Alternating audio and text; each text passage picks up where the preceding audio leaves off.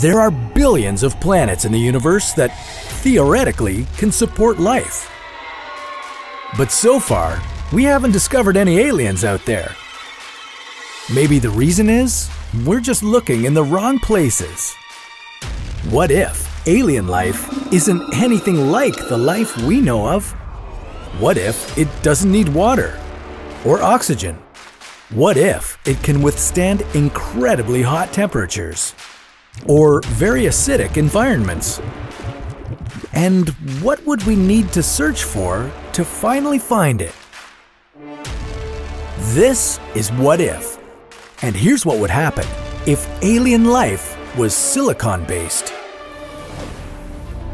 There's one thing that your DNA, a diamond, and a rubber duck have in common. They're all made of carbon. Carbon is one of the most abundant elements in the universe. On Earth, it's also the primary building block of all life. Carbon is so special because its atoms can make four bonds with another element, oxygen, and form long chains of atoms called polymers. But there's another element that can do the same trick silicon. Not only is silicon chemically similar to carbon, it also makes it on the list of the most plentiful chemicals found in the universe. Potentially, silicon could be a building block of organic alien life. And we might find that life in our own solar system.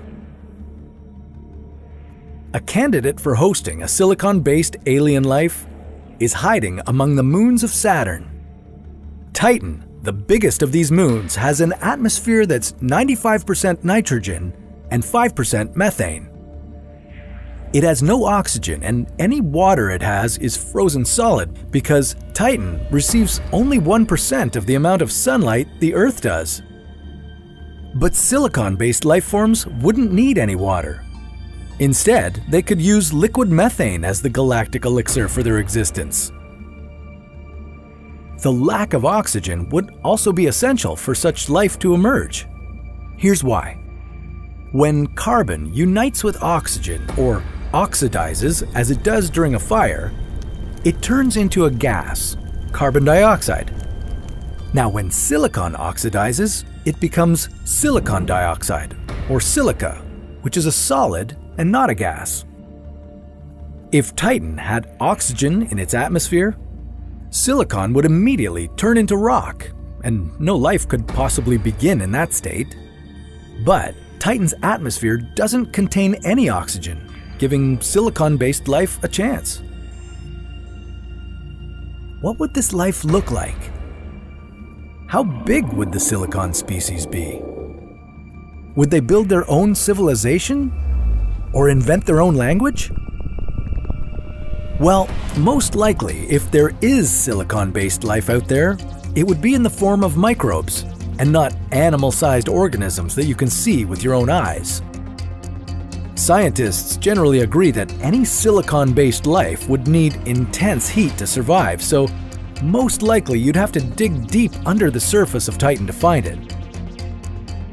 Because of the extreme cold on Titan's surface, a living being would live somewhere close to Titan's core, where it's hot. And hey, there are many planets out there, some of them might just have the right conditions for non-carbon based life to thrive. Because silicon doesn't get along with oxygen, the metabolic processes of a silicon-based organism would have to be entirely different from ours. We don't know if it's even possible, just as we don't know if anything strictly silicon-based would have a DNA. But maybe we shouldn't try applying our science to alien life we've never encountered and planets we haven't thoroughly explored. Earth's conditions don't really give silicon any chance to form into a life form. But if one day aliens came down to visit us here on Earth, they would probably change everything we know about what living organisms could be made of. But that's a story for another What If.